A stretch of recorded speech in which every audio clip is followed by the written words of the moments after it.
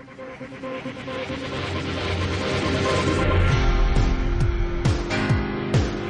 morning, OPRF High School, and welcome to the 2014-15 school year. Students, make some noise. Great, great, great, great. Well, I know you're wondering what we're doing, but that's okay. I don't know either. But hey, listen. In lieu of doing assemblies and bringing you down to the, um, to the auditoriums this year, we thought we'd try something a little different. And um, I've just got a couple public service announcements for you, so please bear with me. First and foremost, to all of you out there, Huskies, please start the year strong. What that means is Come prepared, be focused, do your thing in the classroom, but have some fun along the way.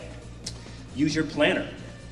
Uh, the planner, we need to use it. It is very new for us. Um, it has a lot of information in it for you, most importantly, days that you're not in school, and also our bell schedule, and some really cool things to help you learn how to study. So please use your planner get involved, just like the students behind us. Those of you that don't know this, this is not actually the first day of school. We are here over the summer getting ready for you, and these students have volunteering their time to make sure that our, our incoming freshmen have a wonderful start to the school year. So for you, please get involved. Um, clubs, activities, whatever that means for you, stay connected to our school. It's great to knock it out in the text in the classrooms with our books and all that good stuff, but please get involved so that you can meet some friends, be social, and have a great time. And the experience for your four years would be phenomenal.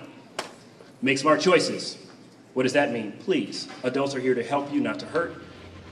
We're a big school. We need you to focus. We need you to be smart. We need you to make decisions that will improve your educational experience opposed to hurting it. Most importantly, the more time that you are in classes, the better opportunities you have to be successful. When you're not in those classes, you do not learn as much, and then you struggle, and then that's not a good thing. Yeah. Most importantly, one of my favorites, please rock your ID.